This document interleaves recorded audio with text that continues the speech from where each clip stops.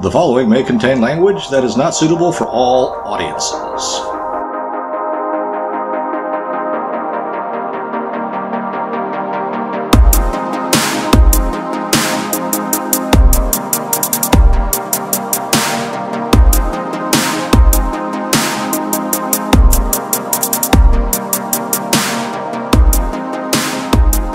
Hello, everyone. Thank you for uh, joining us on the Low Fact Podcast. I'm glad you were able to find us. So, Are you introducing yourself, Lord uh, Lord High Class, Highbrow, this is Boomsticks, Lord Highbrow? straight out of Compton. Compton my ass.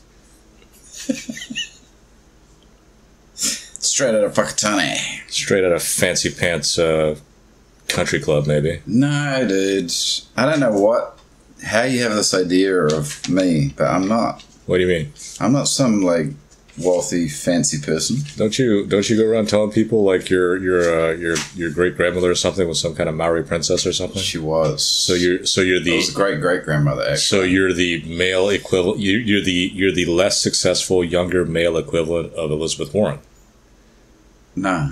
I got it on both sides, actually. I, I, I got Maori royalty on both sides, mum and dad's side. Okay, yeah, and so you're you're you're, you're running around talking about how you're like indigenous royalty, I am. uh, how like you know I'm probably Irish royalty, too, not. how you're how you're super well connected in your home country, and If I'm super well connected, what am I doing here?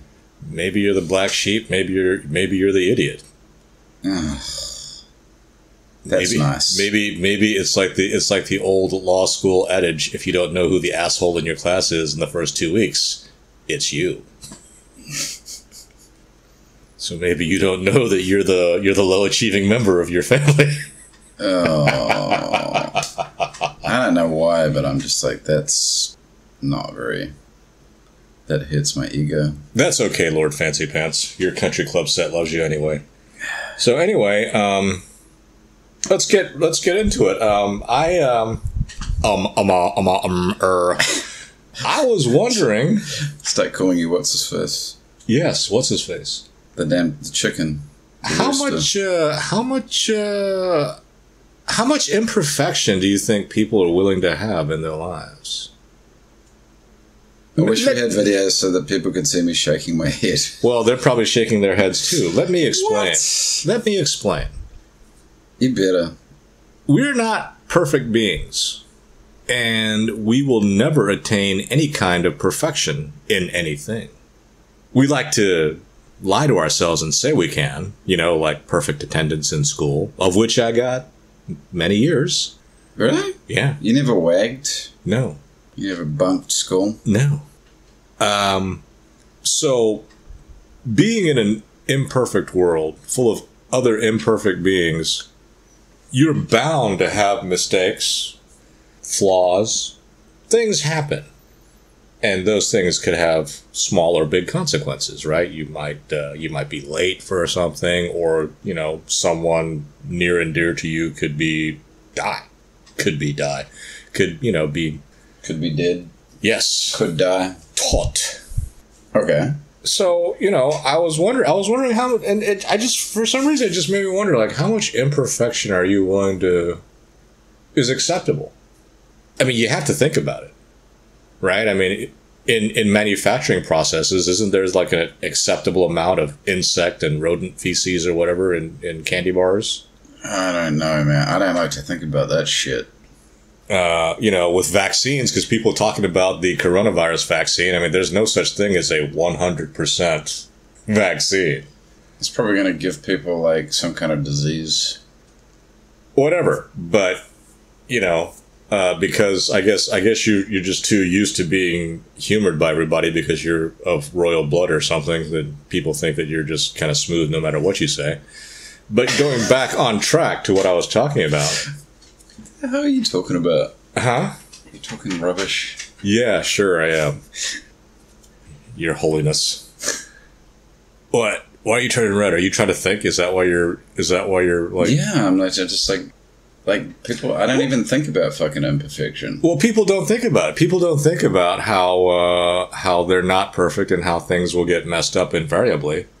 So you know, and and I've been I've been thinking about it more often uh, because the the pet project for the for the for the news media and the the five companies that own them is pointing out this year is pointing out uh, you know all the all the death that police officers have caused.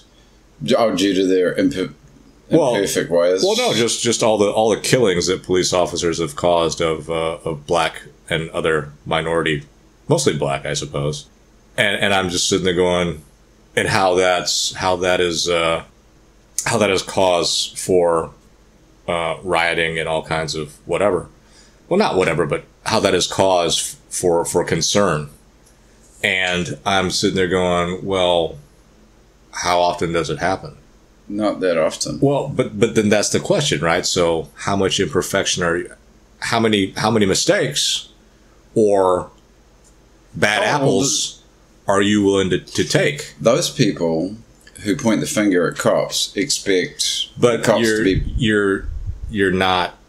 Yeah, go ahead. Go ahead. They expect the cops to be perfect. They expect the cops to make no mistakes. They expect there to be the, the cops to um, sit there and take whatever is is given to them in terms of Well- the behavior of the person they're arresting. I think and they and they they, they expect the, the cops to just be perfect. I think that everyone has that expectation. Should have that expectation only after they can fart a rainbow and Skittles. Taste the what does it taste the rainbow?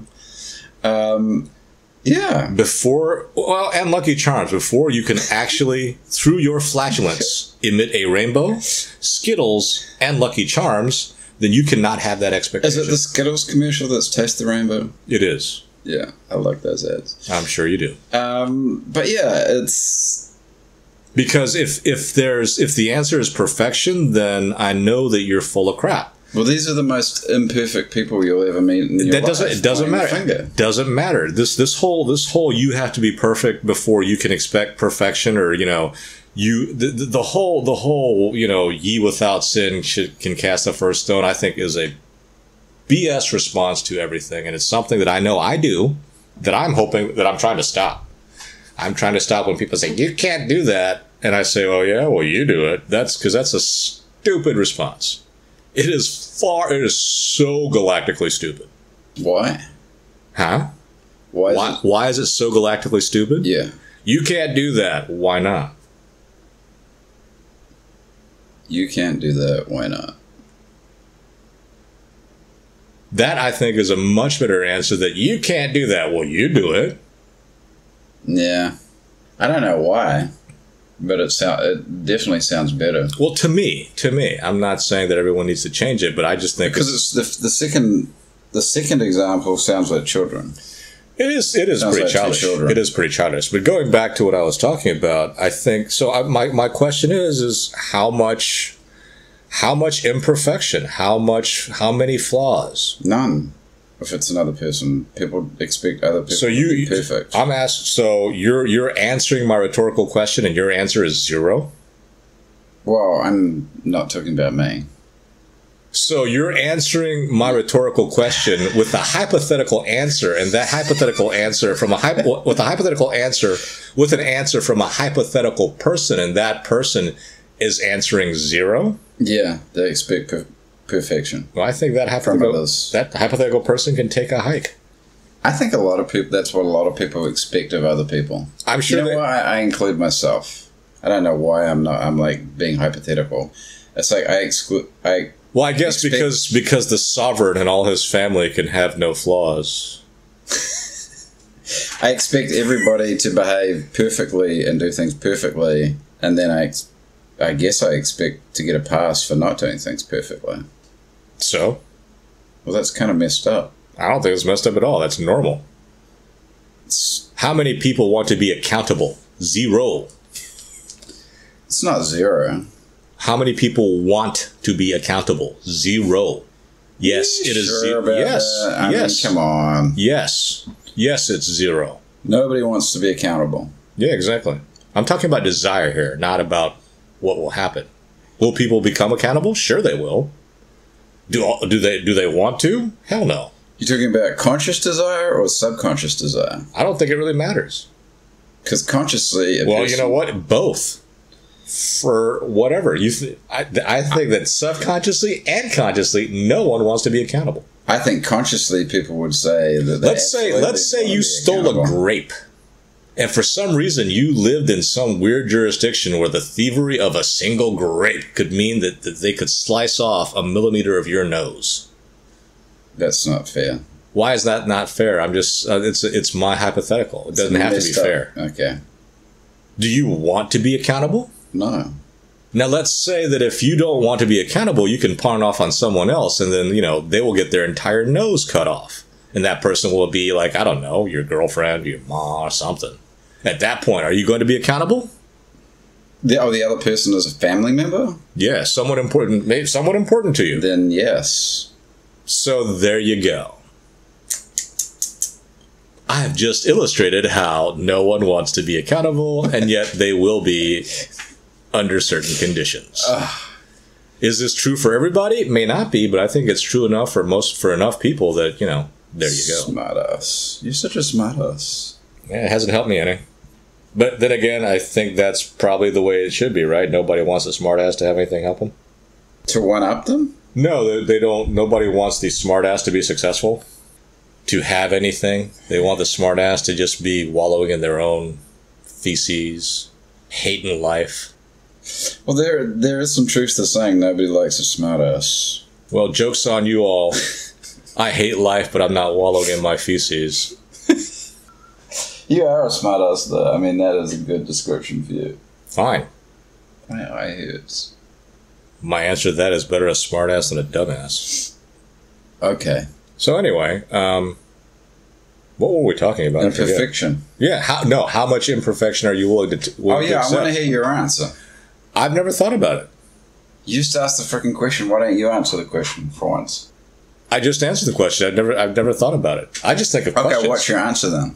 How much imperfection should I be willing? To, am I No. willing to take? Yeah. Not much. No. On the on the on the things that I believe are important to me, very very little, and on the stuff that's not that important to me, or that I consider unimportant, it can be one hundred percent. I really don't care. So it depends. Just like any good answer from a lawyer or an economist.